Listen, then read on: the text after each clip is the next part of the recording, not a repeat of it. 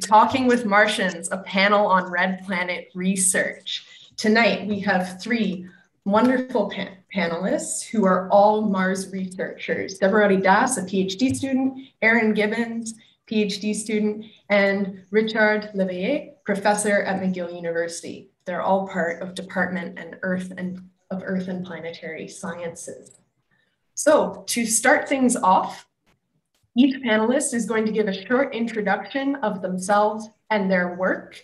Then we will go right into questions. So if you're on Zoom and you want to ask a question, just type it into the chat.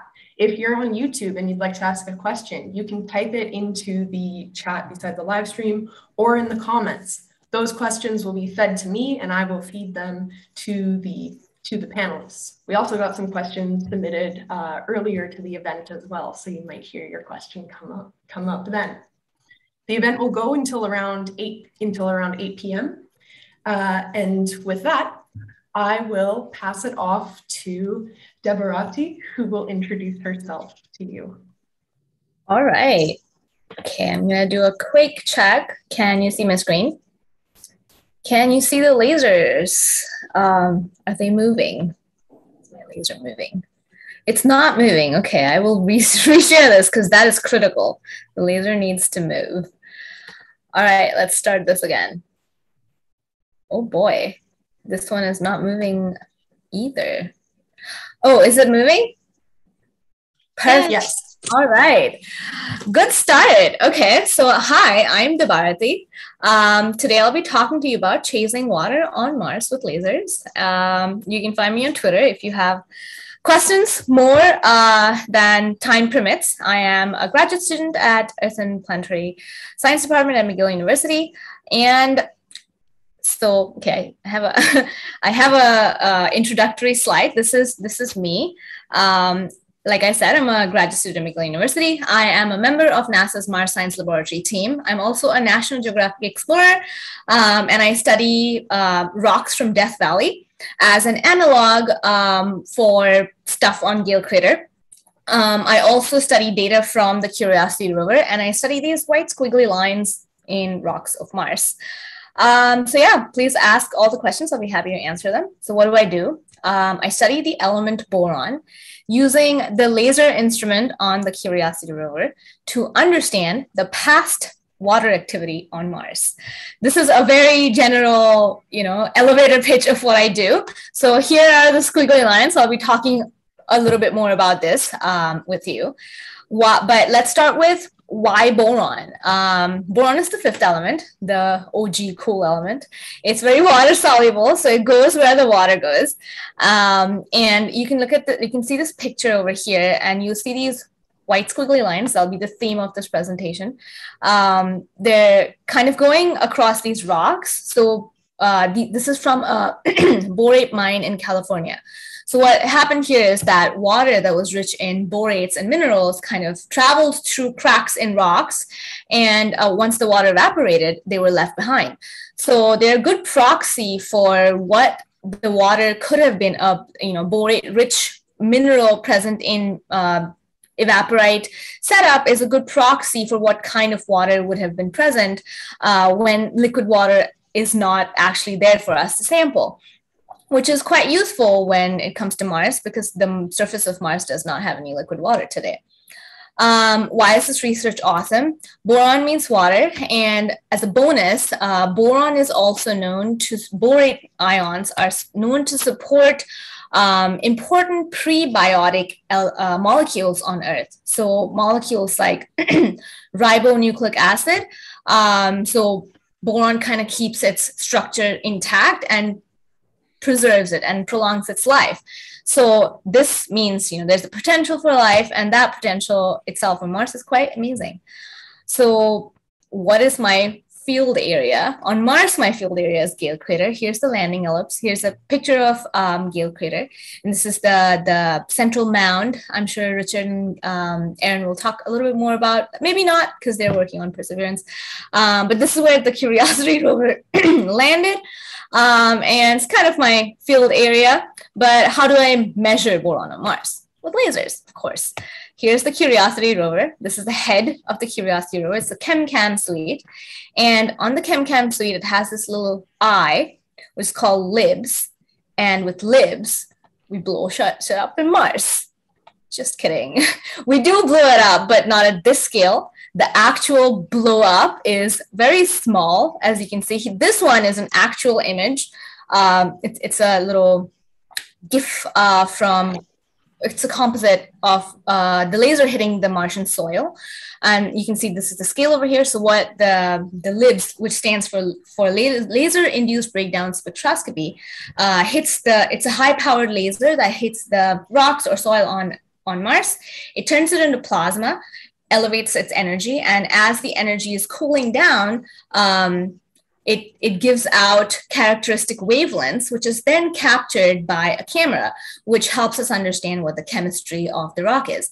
So the wavelengths will tell us what elements there are, and the intensity will tell us how much, relatively how much of it is uh, there. So if you can look at this graph over here, this is what the data looks like basically. So um, well, so what exactly is the boron story? You know, why is it important? So I'll give you a very generalized um, cartoon of what we think is happening and of course this is not a comprehensive you know detailed um, story of what may be happening this is just a very broad picture of what we think could be happening so this is a image of gale crater but don't be fooled um, we don't know if Mars was, you know, a very wet. Uh, it didn't. It may not have had prolonged wet periods, but there was water at some point. So this is Gale crater, and Gale crater formed by a, a crater impact. So the base was cracked, and at a wetter period, may have been intermittent short periods of water coming in,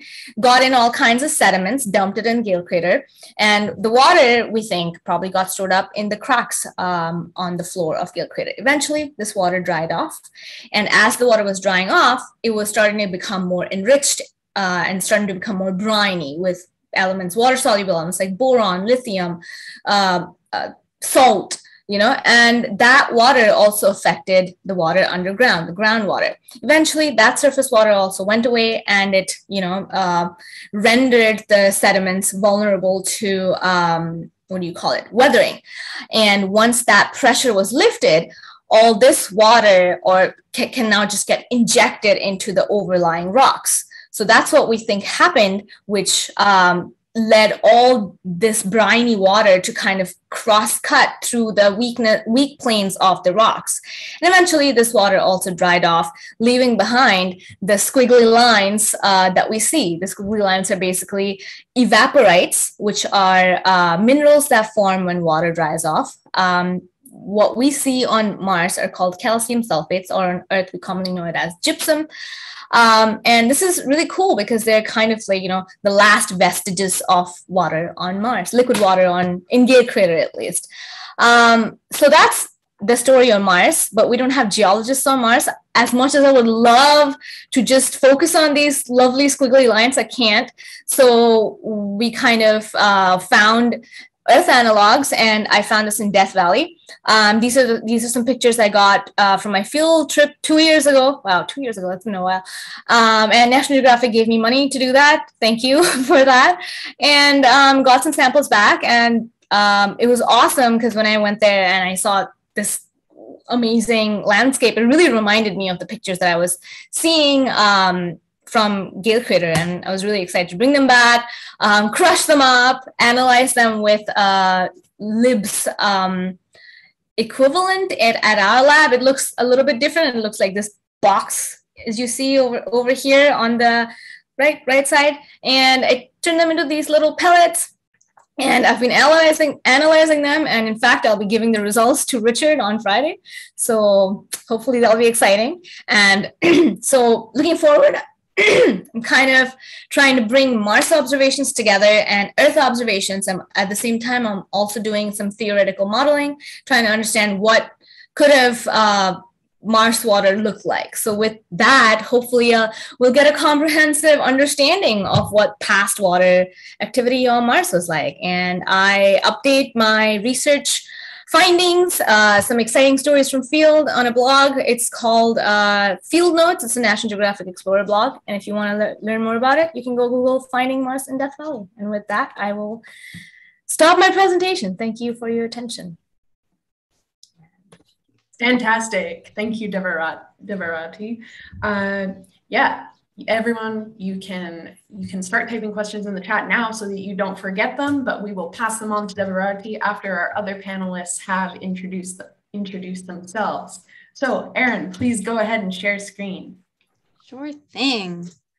Okay so let me get this shared. You should be seeing my screensaver right now which just happens to be a beautiful picture of um, a cliff face that we took a picture of on Mars um, back at the beginning of the Perseverance mission so a couple months ago that's my screensaver. That's not what we're talking about today though. Um, all right, so now you should have my presentation up. Um, so this is me. My name is Erin Gibbons. Just like Leah mentioned, I am a PhD student uh, at McGill University in the Earth and Planetary Science Department.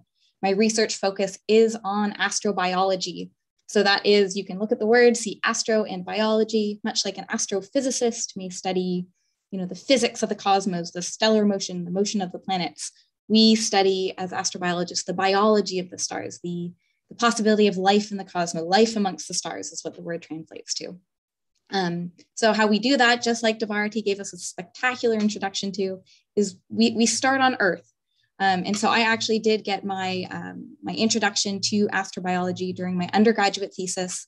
And it's because I had this incredible opportunity to join a NASA project called BASALT. That is our mission patch in the middle of my screen there. And Basalt, it's a, it's a very clever uh, project name for, for this research because it is both an acronym, an acronym and the name of a rock that is fundamental to the study of Mars. And I actually have a little piece right here, if you can see my screen. It's this beautiful, scraggly, shiny black rock. It's a black volcanic rock. It's that rock that we're standing on and all of these photos up on your screen. And it is what forms when when a volcano belches out a lava that is rich in, in iron and magnesium, and then that, that, that lava, it cools down and it forms this crusty black rock called basalt. And this basaltic rock is what makes up the bulk of the Martian crust. This rock is all over the surface of Mars, but it's actually quite sparse on Earth. It's, it's very common under our oceans, but it's difficult to find um, exposures of basalt uh, that are open to the air on Earth. And so we have to go to special places like Hawaii and Iceland in order to find it. And so this NASA basalt team uh, was a team of scientists and engineers and astronauts, and we dressed up kind of like astronauts, but with less of, less of the suits. We had big backpacks and hiking poles and lots of equipment. And we trekked out to Hawaii to start looking at these precious basaltic rocks, which I brought many home with me for memories. And what we were doing um, is we were actually looking at the biology associated with these rocks. Because, like I said, basalt uh, is also a very clever acronym. It translates to, if I can remember correctly, biologic analog science associated with lava terrains. And that just means we were looking at the biology associated with these lava, these dried lavas, these volcanic rocks.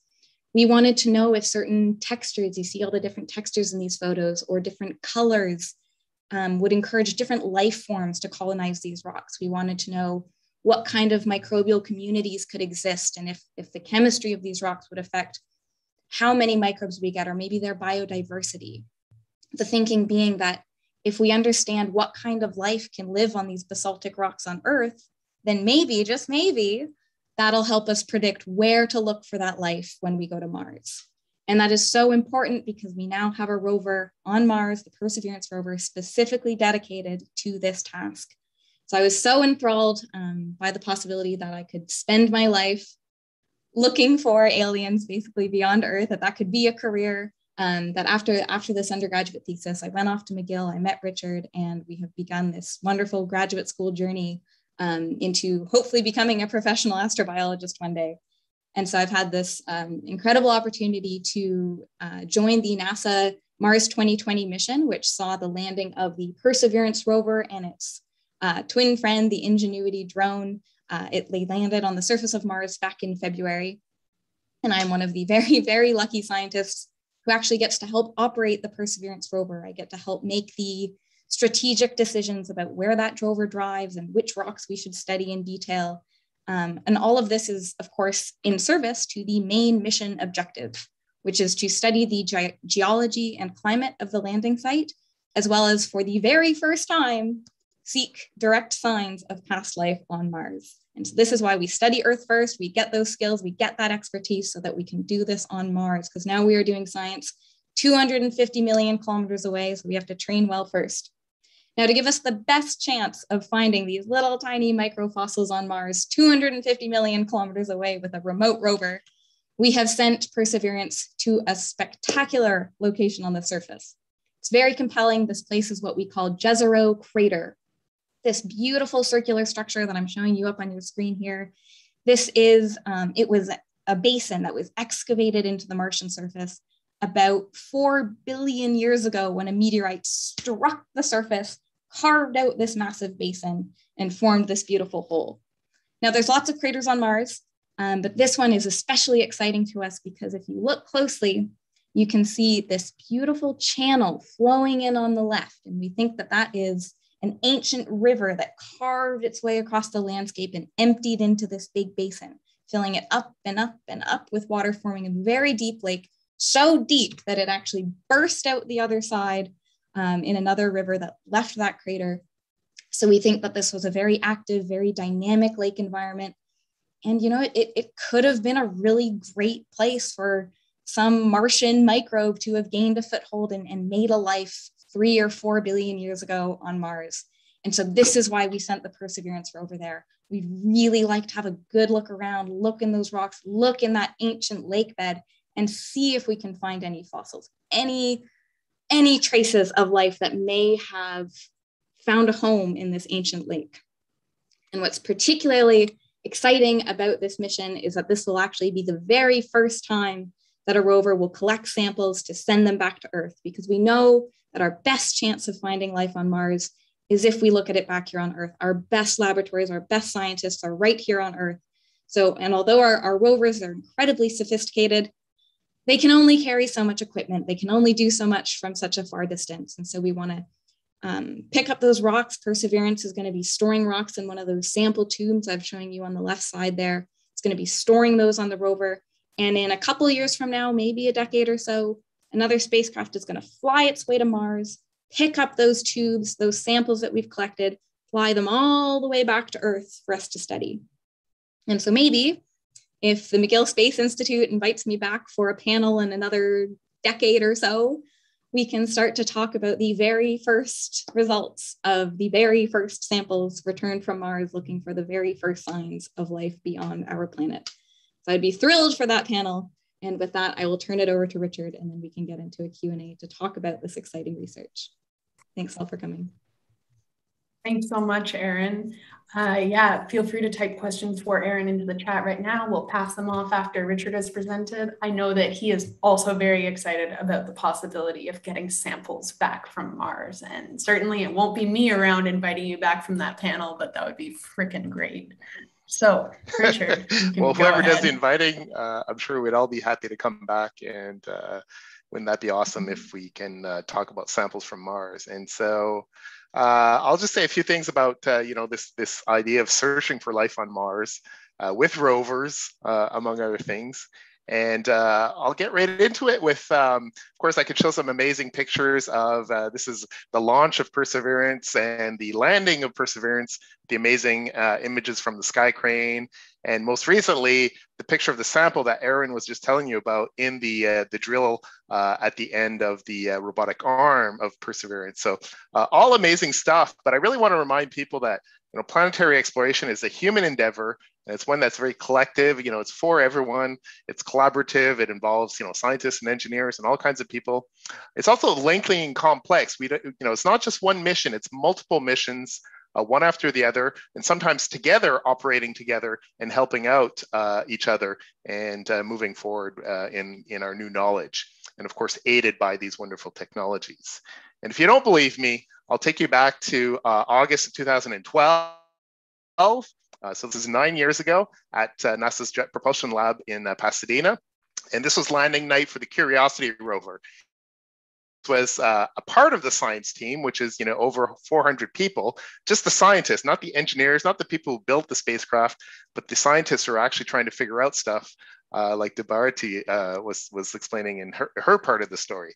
Uh, so wonderful experience uh, working with a, a, large group like this. At times with a few challenges, as you can imagine, but really a great uh, opportunity to work with all these amazing people. And uh, you know, as soon as the first images came down, people were talking about what they could see, the rocks, you know, the the features. You can see sort of the black and white picture uh, on the right there of like the shadow of curiosity. So just an amazing experience, and and working with these people, you know, whether you're a student or a senior researcher, you can have an idea, you can have some input, because of course, no one really understands anything at first about what we're seeing on Mars. And um, uh, just, just a great experience. And, and to get into the really nitty gritty human details, you know, I like to show these pictures. This is from one of the fridges at, uh, at JPL. And uh, if you know Curiosity, you'll know that APXS is one of the instruments instruments. In, in fact, that's the instrument on the arm of Curiosity, and SAM is the analytical instrument on, on the body of Curiosity. And so this is the SAM coffee milk and the APXS peanut butter in the fridge at JPL. And this is another instrument, the CheMin instrument. This is the PI's car in the parking lot. And CheMin 4 is the fourth version of CheMin. The other three are prototypes that didn't go to space.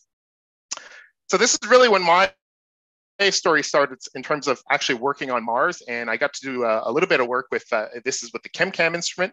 Uh, so, like uh, the story with uh, calcium sulfate veins that uh, Debarati uh, just showed you, uh, this is a, a, different kind of vein or, or filled fractures. So, of course, the rocks were fractured, as was nicely shown. Water went through them, and in this case, rather than calcium sulfates, these are what we think are magnesium clays. And uh, you know, there's some there's some geochemistry here. You don't have to worry about the details.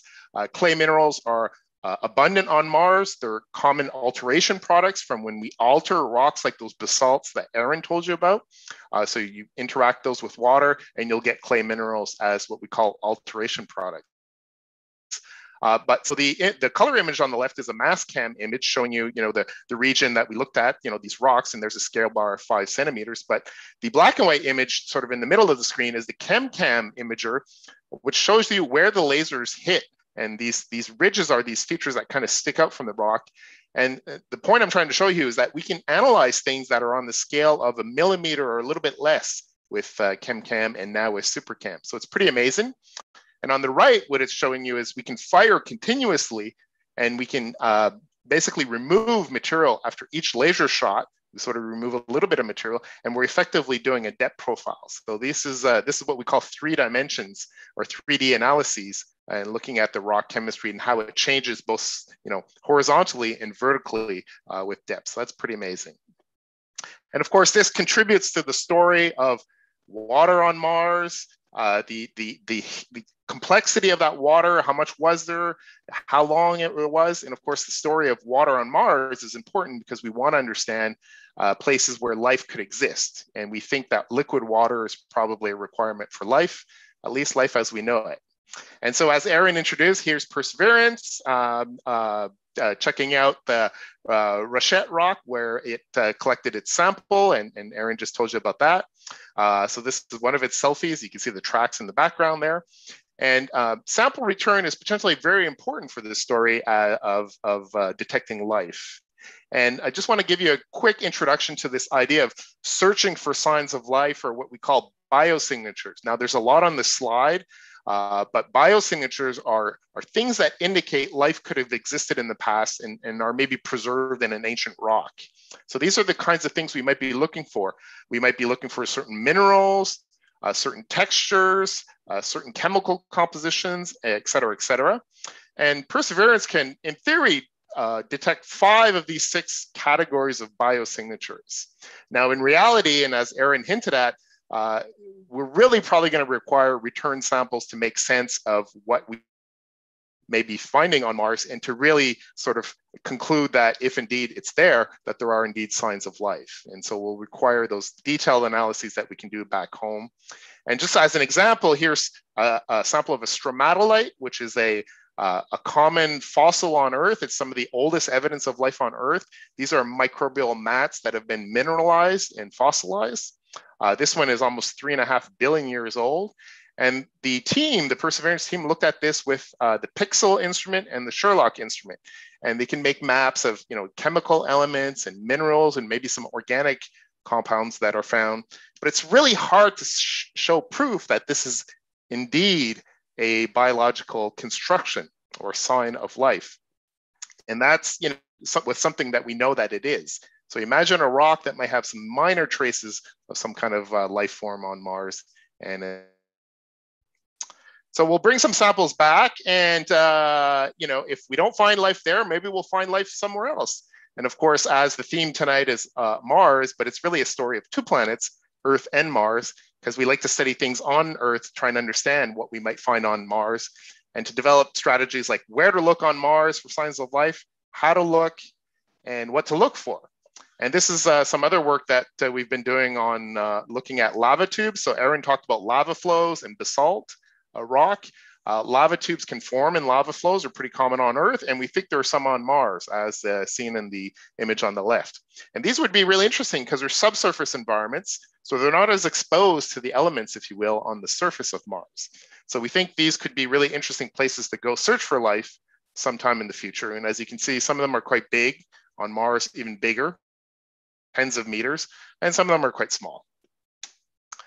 Uh, again, I think I'm going to cut this short. We found cold adapted microbes in some of these caves uh, living where there's ice in them, which is interesting because on Mars, of course, things are very cold. And so there's uh, Brady O'Connor, another McGill PhD student, uh, chiseling away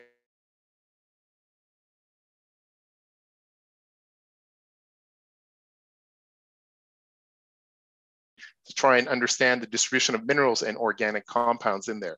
And Raman spectroscopy is a technique that can be used by both the SuperCam and the SHERLOC instrument on Perseverance. So we're, we're, we're learning how to do things and what kind of things to look for and understand the science of certain environments on Earth to eventually take that to uh, take that to uh, Mars. And so I'll just end there and, and thank the students, uh, two of which are here tonight, and uh, we'll be very happy to talk, uh, talk more about all this and answer some of your questions. Fantastic. Thank you, Richard. So those are our three panelists there. So now it's time for it's time for questions. We already have many lined up. Want to offer another option too. If you would like to ask your question out loud to the panelists and you are on Zoom, you can go down to the bottom tab. You should see a thing called reactions and you can click raise hand. And if you raise your hand, I will unmute you and you can ask your question live. But uh, for those on YouTube, just type them in the chat and Zoom chat's fine too. You can also DM uh, Simon as well on Zoom. Anyway, we'll get the question to the panelists. So starting out, uh, first, um, Erin, someone would like to know, what does a molecular fossil look like? Ooh, that's a very good question. Um, well, to your naked eye, it looks like nothing. so what we what we look at is um, they're very small. They're they're molecular fossils of microbial organisms. So not only are we looking at teeny tiny organisms much smaller than the eye can see, but we're actually just looking for the chemical traces that they leave behind. So what we find when we um, the as scientists when, when when we study life on Earth, um, all the way up from the, the, the North Pole to the South Pole to the bottom of oceans to the, to the tops of mountains, we find that all life fundamentally is made of the same basic biochemical structures. We are all composed of the same basic biomolecules.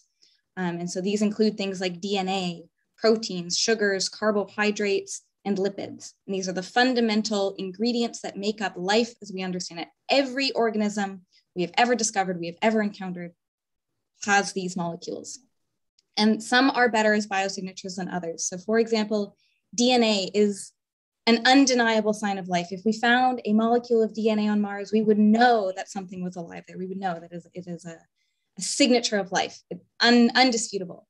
The problem with DNA is it's very fragile and it decays. As soon as that organism dies, DNA is going to die on a scale of between 10 to about a thousand years. It's not going to persist in the rock record for much longer. And we think that Mars was habitable billions, three, four billion years ago. So we're looking for a piece of DNA to survive that long. It's just not a promising path forward. So the type of biosignature that I want to focus on is something called a lipid. In every single cell that makes up an organism, has a lipid membrane that binds all of the, it, it's what separates the inside of the cell from the outside of the cell. So every cell has a lipid membrane. And these lipids are important because they are very hearty. When that organism dies, it's a, if a lipid gets buried in the rock record, it can survive for millions and billions up to we found kind of two, three billion year old lipids on Earth. So we are, these are the most optimistic chemical signatures of life that we have, this, this lipid class. So that's what I like to focus on. I focus on the lipid. And in terms of what they look like, they are long chains of carbon and hydrogen molecules. That's why they last so long in the record because they actually, they don't have very complex chemistry. They're very simple hydrocarbons. They're simple, they're not very reactive, and that's why they last a long time. But what they look like is just carbon hydrogen chains, and we just, uh, we recognize the patterns of what builds up a biomolecule. I hope that answers your question. Yeah, great. Thank you, Erin. So now uh, I'll ask uh, Heba to unmute and you can ask your question. let's see.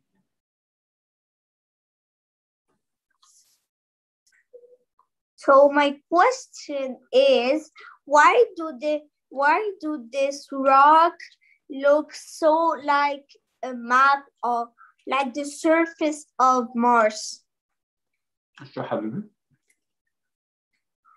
Uh, why? Which rock? Like, like it's like a thing like that.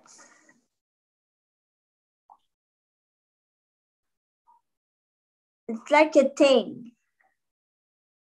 Like a tank. Thing. Are you asking if the rocks, why the rocks on Earth look like rocks on Mars? No, like. Yes, yes. Okay. I think physical and chemical properties on both planet are similar.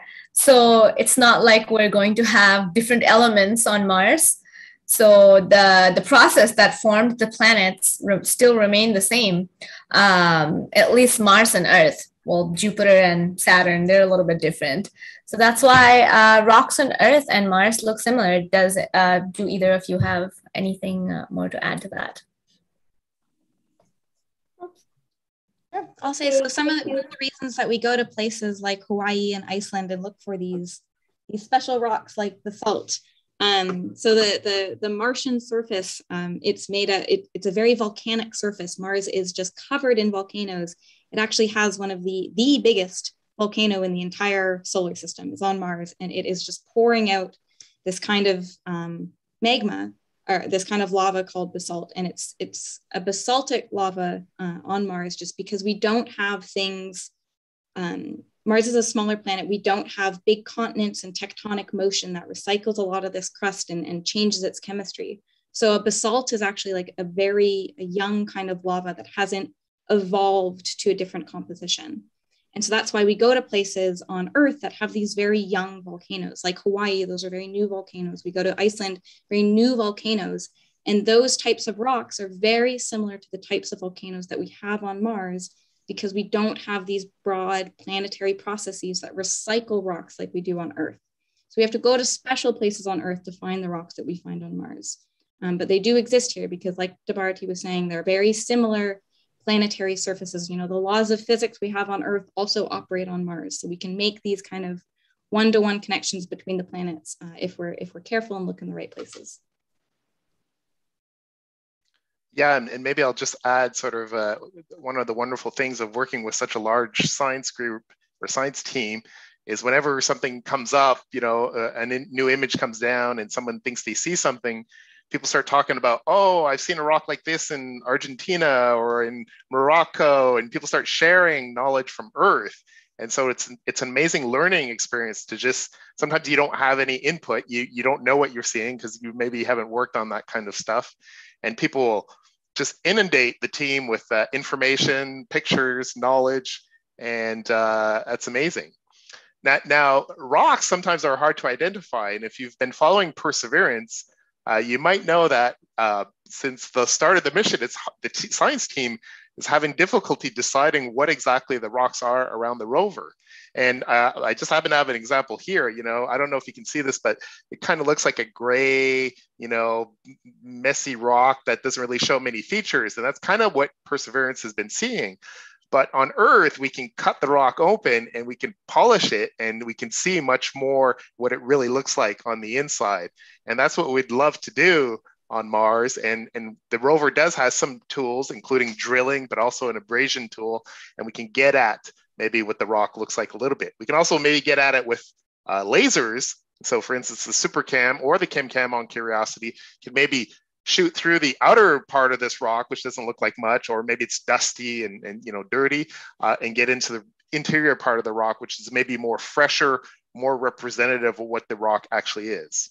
So it's not because the scientists are dumb on the team; uh, they're just not sure exactly what the, the data is telling us from uh, from Perseverance. Okay, uh, thank you, thank you everyone for uh, for handling that question. I hope that I hope that helps Kiva, and thanks for asking a question live. Uh, next question is for Debarati.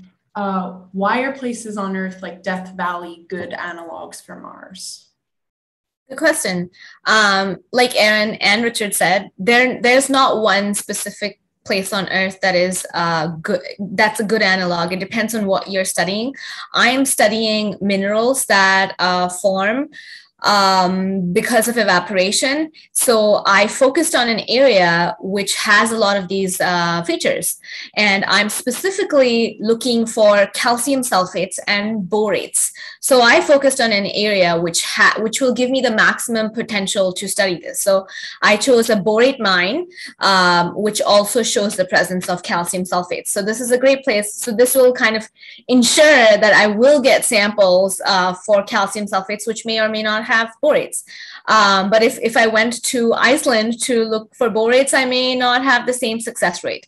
So it's not it's not the same planet. We're trying to kind of cobble together um, what exactly happened based on the examples that we have access to. So that's why Richard's field area and Erin's field area are different because they're looking at different aspects of um, the planet. Great, thank you, thank you, Deborah. Uh, Richard, how has Mars, re Mars research changed in the last decade? Have the new missions helped a lot? Well, uh, oh gosh, that's a great big question. Um, uh, of course, you know, every mission we send to Mars, uh, we're surprised by what we find. You know, we, we think we have an idea. You know, we, we sent Curiosity Gale crater. You know, there's an impact crater. We think there, you know, we, we knew in advance or we thought in advance there were probably some you know lake sediments and maybe evidence of rivers and so on and and sure enough that's what curiosity has found uh, but there's always surprises. There's always new stuff things that we didn't think about. And that that adds to our knowledge base. And sort of we build on each on each mission as we go. So um, you know if we go back to the Spirit and Opportunity rovers, you know, rest in peace, both of those, uh, who did an amazing job working on Mars for so many years. Uh, their goal was really to search for evidence of past water. You know, so NASA's mantra back then was, you know, search for water.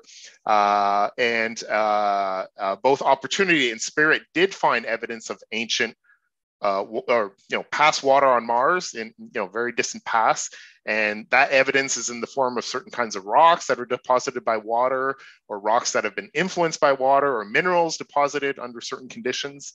And so we sort of checked that off the uh, the list of things to do, and then Curiosity was sent to Gale Crater to really characterize habitable environments. So a habitable environment is an environment that could potentially host life and uh, you know, such as a lake where there's liquid water. There's maybe uh, some energy sources in the form of certain minerals that might be present, and there's chemi- uh, uh, carbon compounds that, of course, you know, all life that we know is based on carbon. So those are the kinds of things we look for in order to characterize an environment as habitable. And so, uh, again, with curiosity, we can sort of check that off the list of things to do. It's you know it's a little bit more complex than that. Uh, but now Perseverance has gone to another location, and it's a long story why you know you may say why don't they just go back to the same place? Well, you know scientists like diversity and like to go to different places. So Perseverance has now gone to Jezero Crater, where we think there's also a lake and there's lake sediments that we, we expect to find. And uh, it is going a step further and not just looking for water or looking for habitable environments, but actually trying to look for traces of life, which, as we said, might only be found once we get some of those samples back to Earth, but that's still part of the mission. So it's really a, a sort of a step-by-step progressive approach to exploration. And that's kind of what I was saying in the first place. It's not just, you know, one mission here, one mission there. It's really a research program uh, that develops uh, across multiple, uh, multiple missions. So I Thank hope you. that kind of answers the question. Um, it, uh, I could maybe talk about this for quite some time, but we'll leave it at that. Thank you so much. Yeah, that's com comprehensive. Mm -hmm. uh, for anyone can take on this question. Is there anything done to make robots more sustainable? How can we avoid littering Mars with robots?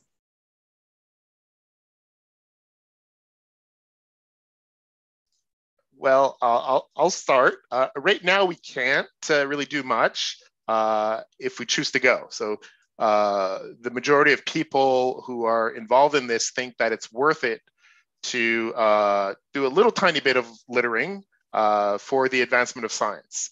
Um, you know, curiosity, uh, perseverance, opportunity, spirit, there's no way of them coming back uh, by themselves. Now, in the future, if humans are going to go to Mars, which apparently everyone thinks they should and, and will, uh, there's nothing stopping a mission to go and collect some of our garbage that we've left there, you know, whether it's on Mars or on the moon and so on. But uh, we've only been to the surface of Mars about, uh, what's the exact number? I'd have to count now, uh, less than a dozen times. And uh, so, you know, on the grand scheme of things, it's a really tiny amount of garbage, but, uh, but nevertheless, it is. And, but we think it's worth it. Um, it's not causing great environmental damage. these things are pretty inert once they're sitting there. Uh, and there's nothing stopping us from going to get them um, maybe with humans or some kind of robotic mission in the future, but uh, it's probably easier with humans and bring them back with our humans when they come back. Great, thanks. Yeah, Erin, to follow up on on what Richard said, um, I have I have two points. The first is that the the robots that we send to Mars are actually some of the cleanest robots that are ever produced on Earth. They are so extremely well cleaned before they leave our planet and that is to protect the Martian surface, surface from our contamination.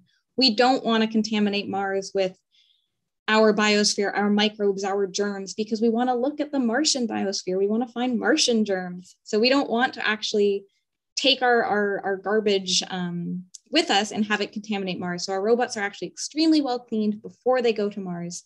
Um, so that's kind of the, the first point. And in terms of leaving little bits of, of robots behind, we do certainly do that. You know, when we when the when the when the rovers land, they have parachutes that get ejected, um, or there's certain parts of the spacecraft that get um, jettisoned uh, as as the rover is driving. Or for example, when Perseverance had to release the Ingenuity helicopter, we had to open up the the belly pan, and that got left behind on the surface of Mars. But those pieces of hardware are so precisely mapped on the surface of Mars. There's maps out there that exist that can you can find the exact coordinates of these pieces of garbage, these these parachutes, these belly pans, and they're kind of I don't know if I want to call them garbage. They're kind of they'll be museum pieces one day, I'm sure. So they are extremely well mapped. We have a really good idea of, of exactly where we've dropped um, the where we've polluted uh, Mars with our rovers. And like Richard said, if there's a mission that wants to go forward and either collect those those items or even turn them into heritage sites, the same way that the the footprints on the moon are going to become a heritage site. Maybe these um, these pieces of garbage on Mars will become historic sites of, of the initial exploration. So they're very well tracked and the robots are also very clean before they leave our planet. Okay, thank you for that. Uh, I'll move on to the next question. Does it appear that Mars had a very volcanic past? Nods. yes, absolutely. Definitely. So like definitely. uh, you know, we, we often say that Mars is uh, pretty much, uh, you know, the surface is mostly volcanic. Uh, maybe that's not quite true, uh, but there's certainly lots of evidence of uh, volcanism, lava flows, lava tubes, and of course, volcanoes themselves. I think Erin mentioned Olympus Mons, the largest volcano in the solar system. There's many others. And the big question scientifically is until when were these volcanoes active? So there's some debate on you know, most people think that they're not active today. So Mars has sort of cooled down as a planet. So all the rocky planets in the inner solar system started off really hot and they've been cooling down ever since. And as I like to say, it's like a baked potato or like baked potatoes. If you cook two potatoes and you take them out of the little one or the smaller one, you'll be able to eat it sooner because it's going to cool down faster. Whereas the bigger one with the bigger mass is going to cool down slower. So Venus and Earth are still cooling down quite a bit. Mercury is cold, the moon is cold, and Mars is, is colder because of the relative size and mass. And so um, there's definitely evidence of volcanism. Some people think fairly recently on Mars, uh, but probably not so much uh, uh, today. And, but that, you know, again, Mars sometimes surprises us, and uh, but definitely a, a, a big history of volcanism. Great, thank you. And then follow up on that. How long do we think water existed on Mars, and why do we think it disappeared? I'll let the students answer that one. See what they think. uh, that is a that is a good question. I, I'll tell you if you ever if you go to a, a conference of Mars scientists and you want to start a heated debate, that is exactly the question you should ask. Or if you know you want to hear ten Mars scientists give eleven different answers to a question, that's the question. um, it's a it's a very it's an open question. It's it's very difficult to study when exactly the water disappeared from Mars and why.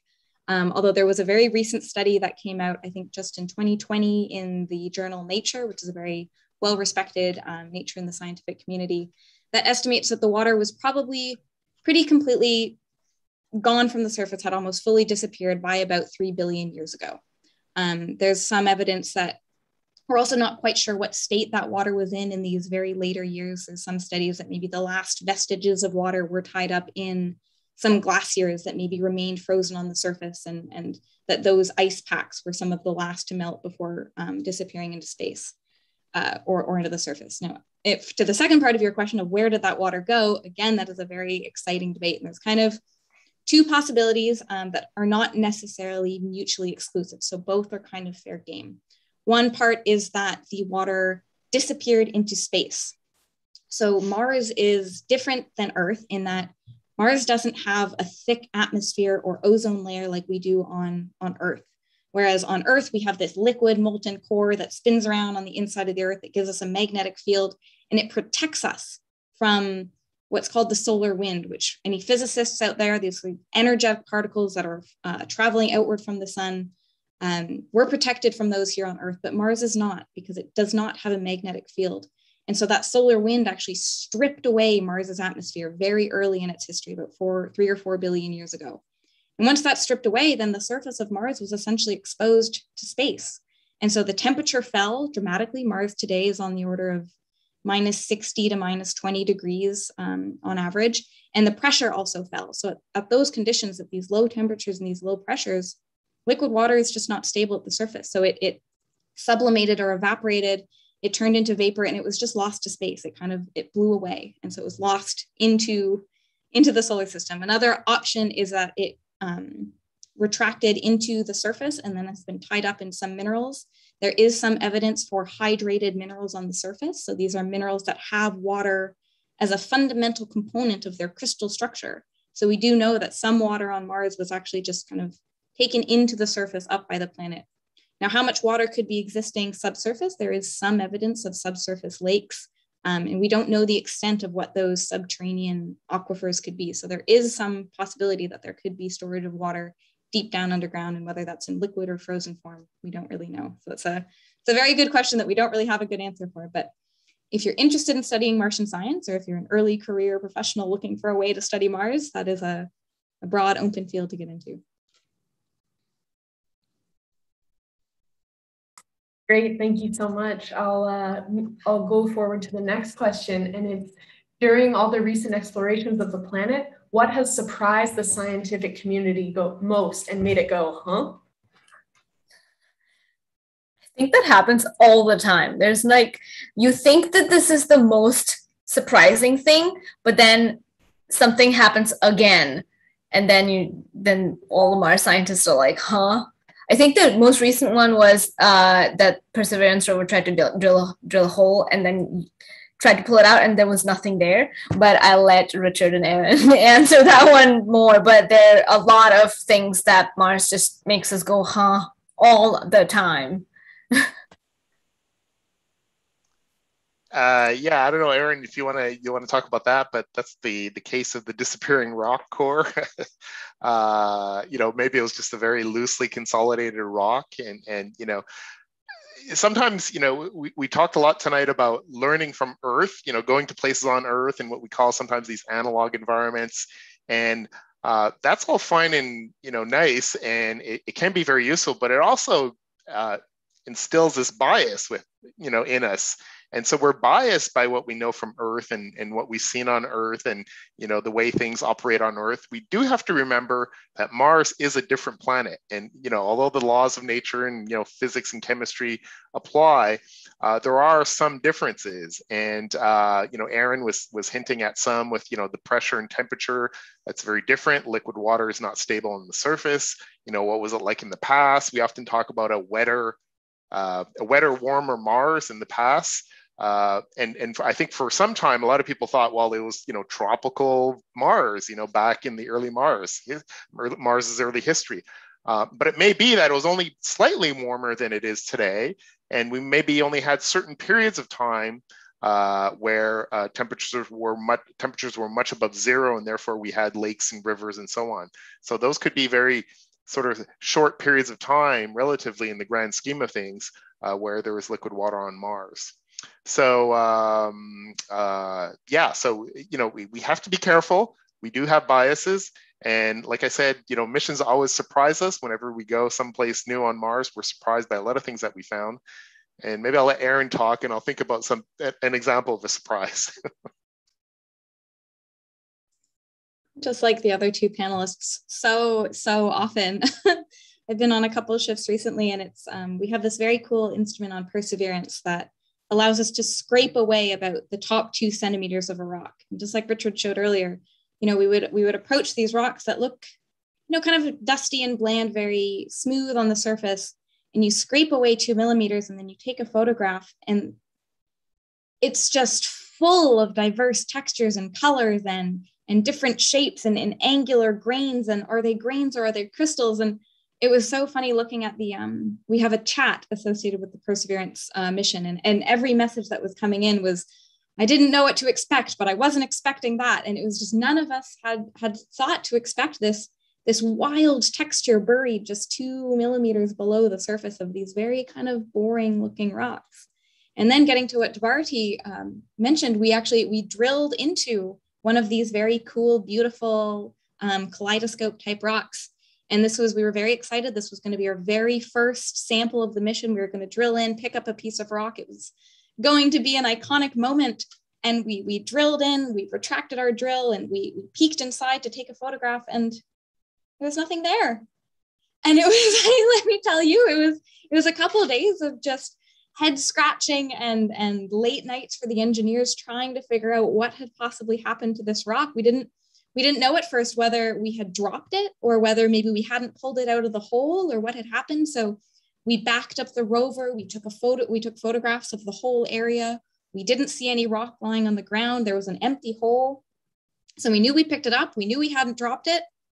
The only explanation is that the act of drilling was so aggressive that it just powdered this rock and it kind of disappeared into the sand around us. But so that was definitely a head scratcher. It took us a couple of days to figure that one out. And and we didn't expect it to happen. You know, we thought we had this hard, cohesive rock that would make a beautiful drill core, and it, it just crumbled into sand in our in our robot hands. So yes, Mars is is a huge surprise. It's it's it's hard to do science at the best of times, and it's even harder to do science 250 million kilometers away with with a robot that you have to operate like every other day. So it's always surprises. It's it's almost never what you expect on Mars. Wonderful. And, and, of course, if you know anything about geology, you know there's three main types of rocks, you know, sedimentary rocks, igneous rocks, and metamorphic rocks. Uh, on Mars, not too many metamorphic rocks, so we can sort of uh, remove that out of the picture. But um, often is the case, both Curiosity and Perseverance, where we have, you know, a rock with all kinds of pictures and data from all the different instruments. And you have half the team who thinks it's a sedimentary rock and half the team who thinks it's an igneous rock. You know, basic sort of questions. Sometimes it's really hard to answer when you're working, you know, with a robot so far away. So uh, it can be frustrating at times because you know we want to know, of course, and uh, sometimes we just you know can't know for sure. And I like to tell the story of the Blue Rock, uh, which was uh, a rock that was uh, photographed by Curiosity, if, you know, many years ago or a few years ago. And the image came down. It looked like a blue rock, and then the email started getting uh, active. People on the team sending emails with pictures of their favorite blue rock from all parts of the world, around the world. I had about 60 mission-related emails that day. And the next day, Curiosity took a, a, picture at a different time of day. So the illumination was different and the rock looked pretty much gray. And then all the Blue Rock emails went down and no one ever talked about Blue Rocks after that. So, uh, you know, lighting can play a trick on you. Uh, and, uh, but people are, of course, genuinely excited and they thought this was a Blue Rock on Mars. but it wasn't. great, great. Uh, but there are blue rocks on Earth. I mean, turquoise. but yeah, I guess our next question is uh, what is your best memory of your travels or of being involved in missions?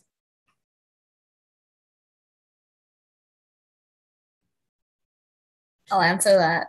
Um, someone asked about Death Valley. Um, it was my first self self-planned kind of mission. I was a bit of a lab rat before that.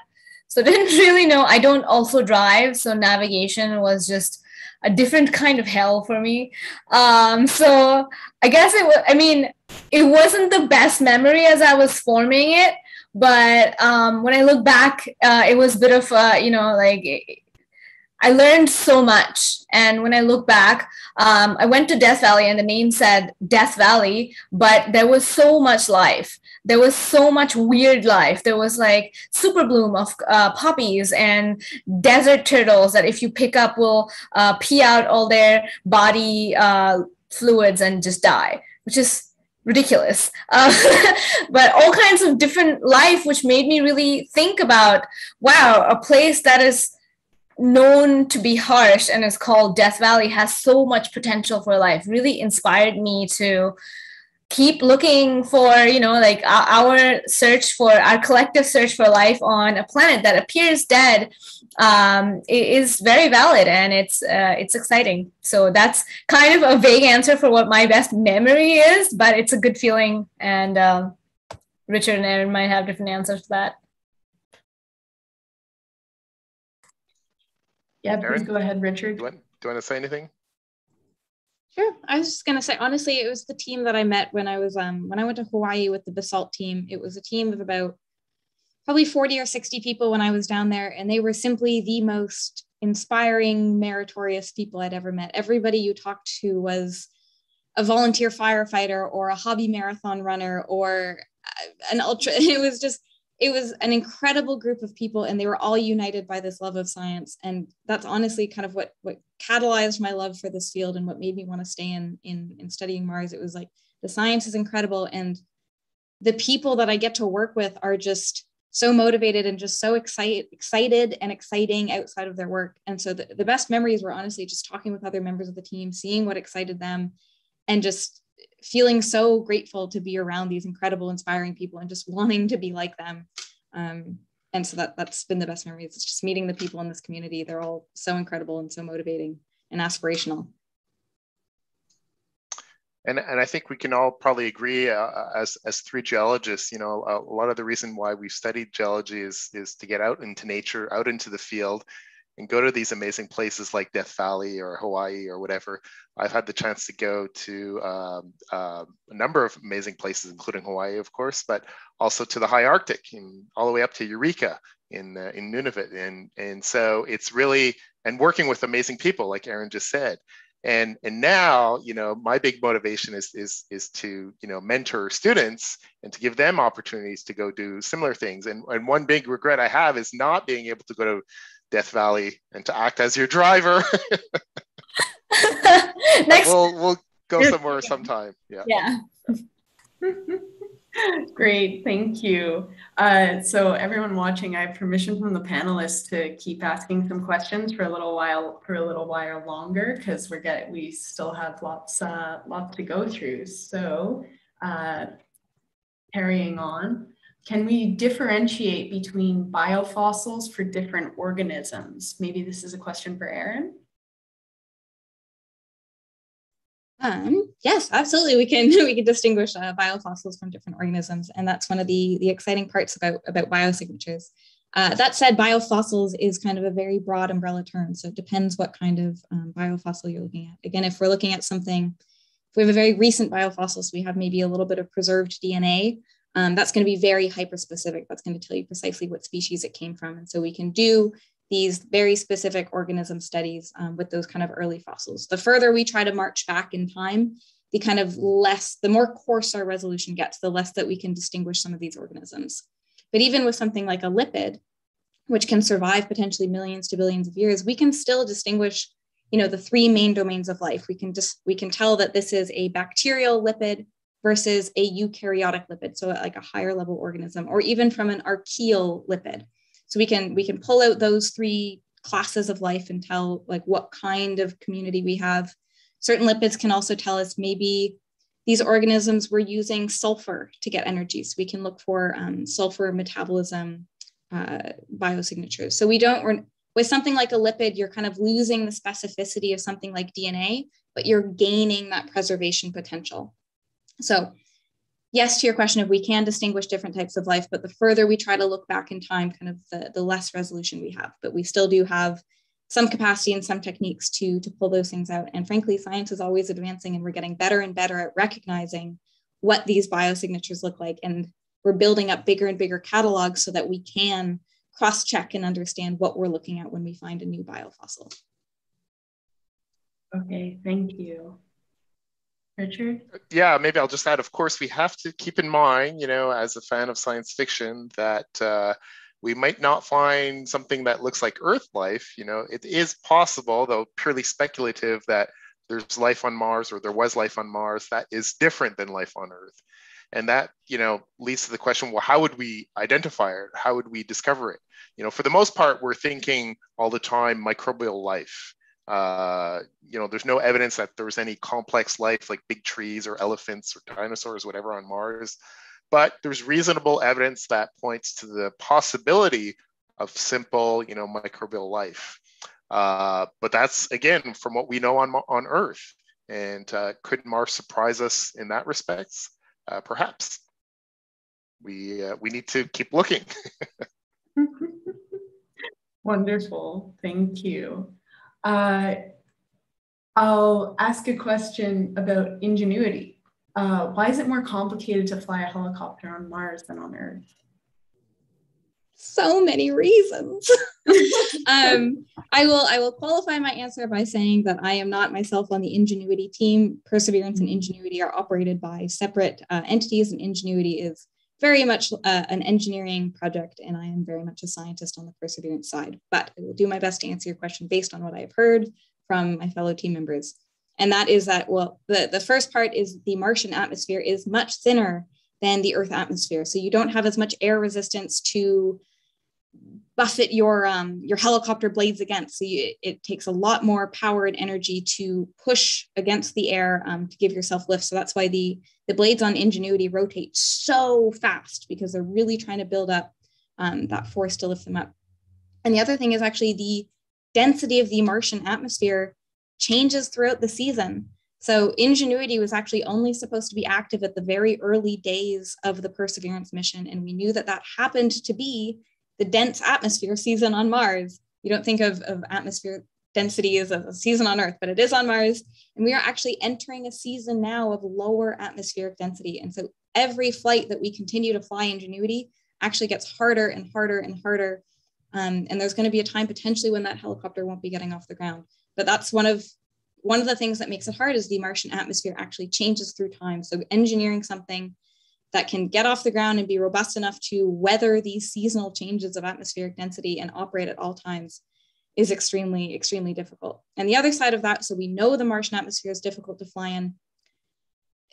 it's hard to practice in, right? So when we're when we're building robots on Earth, or when like when you're building when you're trying to design a new car, it would go through so many field tests, right? You would you would try these things out, you would you would notice the mistakes, you would fix them, you would, you would iterate. With trying to build a helicopter on Mars, you can't just go outside and, and give it a practice flight. It's really hard to build large scale chambers that simulate the Martian atmosphere to, to practice this test flight because you have to simulate the, the lower gravity as well as the thin atmosphere. There's so many variables. So trying to fly in, in a thin atmosphere with low gravity and not really having much opportunity to practice all kind of compound to make it a very difficult task and just an incredible example of engineering the fact that that helicopter got off the ground not once not twice not three times but we're looking at like more than a dozen at this point and it's just an incredible little a little little machine wonderful uh, next question what is your favorite fictional depiction of mars in film or literature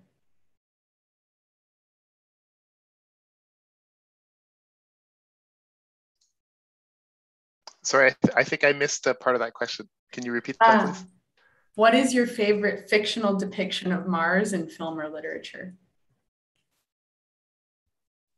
I think harkening, well, I don't know if it, it's film or literature, or, well, I guess it's literature, but harkening back to the very, very early days of, of Mars exploration, um, there were these very early telescopic uh, observations of that, that, looked at Mars and they thought they saw these squiggly lines on the surface. It turned out to just be optical distortion in the telescopes, but the original interpretation that it was actually these, these channels that snaked across the surface. And then that actually got mistranslated between, I, I think it was the original Italian astronomers uh, to the rest of the world. They had written down, you know, we see channels on Mars, and it got interpreted as, as canals because they use the word canali. And so I, I like this, this vision of very uh, posh, fancy Italian Venice style canals snaking their way through Mars and having uh, fancy Martians drinking wine on the surface. That was kind of the very early image of, of, of Mars uh, before we had any instruments even, even entering space. So I kind of like this uh, rustic Italian version of, of Mars from the early literature. I, have never mm. pictured Martians drinking wine, but thank you for that, Erin. You're welcome. I mean, if there's canals, you have to have a little glass of canal side wine. nice, thank you. Sometimes we discussed before, Mars just throws us so many, you know, thrillers that I feel like we don't need fiction because it's just mm. so exciting as is that we can't keep up with um, the excitement although like you know what our imaginations are also quite a nice place to explore and of course it's, it's such a large team. There's there's a few interesting characters. Also i'll leave it at that. Yeah especially with like uh, how the different teams uh, work with each other because, because there are so many teams there are so many instruments and how what the team dynamics between the teams are are also it's like a telenovela, you know, so it's pretty pretty great. Um, I'll also leave it at that. great, thank you. Uh, would you like to go yourself on Mars to study it closer if you had the opportunity? Well, I get motion sickness in a planetarium, so no. but in theory, yes, I would love to go to Mars. I will throw up the whole way, but I would love to go to Mars. I would like to explore Mars as long as a return trip is on the table. This this recent talk of a one-way trip to Mars, I am not down for. I think half the fun of going to Mars is being able to come back and tell your friends about it, share photos. so as long as yeah, as long as there's a return ticket in there, I, I think I would I wouldn't mind going. yeah, maybe when my kids are older and you know moved on from home uh, and if we can make the trip a little bit quicker. All right fair. So uh, i think i'll wrap it up with one last question. Uh, you've mentioned often that scientists study earth to better understand mars but could the opposite also be true? As in would studying mars tell us more about earth its future and its past yeah absolutely that's actually that's, that's one of my favorite things to think about there's this um, kind of incredible idea in in the astrobiology sphere, studying life on Mars to better understand life on Earth. And part of that is that, so we think that life emerged on Earth somewhere on the order of three and a half, 3.9, 4 billion years ago on our planet. That's when we think the first life forms were getting started here. Now, unfortunately, we don't really have many rocks that are that old. So we don't think that we have a fossil record of the very first organisms left on Earth because, you know, rocks on Earth, they get recycled. We have plate tectonics, rocks get subducted, they turn back into magma and they blow up in volcanoes. So we have a, an active rock cycle that has probably scrubbed away any evidence of the very first life forms on Earth. But the incredible thing about Mars is there's no plate tectonics. Some of the rocks on Mars are still 4 billion years old. There are huge plains of Mars that are full of rocks that are this, this old, this ancient. And so maybe if, if Earth and Mars were both inhabited at similar times, if life got a hold on both planets, there's many theories that both planets could have kind of cross-contaminated each other with, with meteorite transfer. So if, if Mars maybe has a rock record that records these earliest signs of life, it might actually be our best chance to understand these first life forms on Earth because we don't have those rocks available here and they are there for the picking on Mars. So I think that is such an incredible way that we could understand Earth better by studying Mars. Thank we you. also get to um, experience a lot of innovative technology um, here on Earth because we are trying to um, send missions to other planets. And because of space technology, there's a lot of stuff that we get to experience here on um, Earth too. So not just from a geology perspective, maybe from tech perspective too. And, and just as a little historical account, the our understanding of impact craters uh, was really helped by the study of uh, lunar impact craters and maybe to some extent Mars craters. Uh, because of course, I kind of, as Erin was hinting, we can see them there much more, much, much better. And they're much better preserved. Uh, so indeed, yeah, there are reasons uh, we can we can look elsewhere to understand our own home. Wonderful. Thank you all for answering that question. Uh, that'll be where I cut it tonight. Do you have any last minute comment? This was like some really awesome questions. Really enjoyed um, talking to all of you. Thanks for organizing this. Yeah, really diverse. And and if if we didn't get to your question in the chat or on the line or on YouTube, um, I think Debarati and I and Richard as well, we're all very active on on Twitter, and I think most of us have a have a planetary science theme to our Twitter feeds.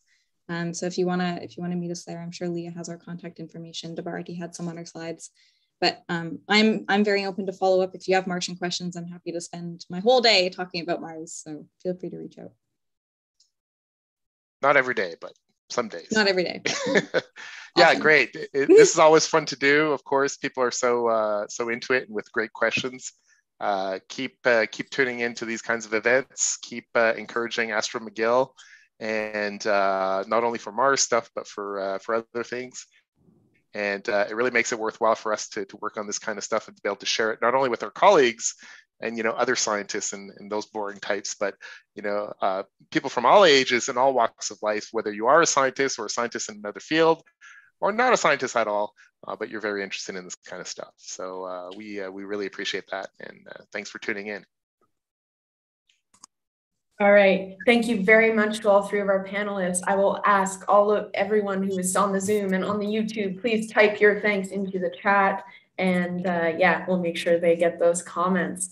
So thank you everyone for tuning in. We'll have more events from the Astrophysics McGill public live stream soon, and we'll keep you posted on our social media and email channels.